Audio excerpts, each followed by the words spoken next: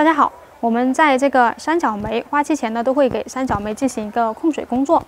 但是我们给三角梅控水的时候啊，在它控水七天之后呢，我们要做一个动作，这样呢可以促使它花芽分化更多。那么是什么动作呢？这个动作啊，就是给这个三角梅啊松土伤根。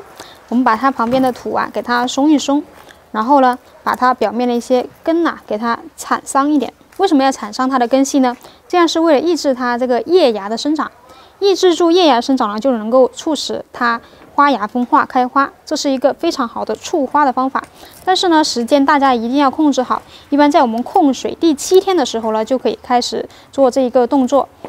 因为呢，这个三角梅啊，它的根系如果长得非常的好，就特别容易让它长出这个新芽新叶。如果一直长新芽新叶的话呢，就很难花芽分化开花。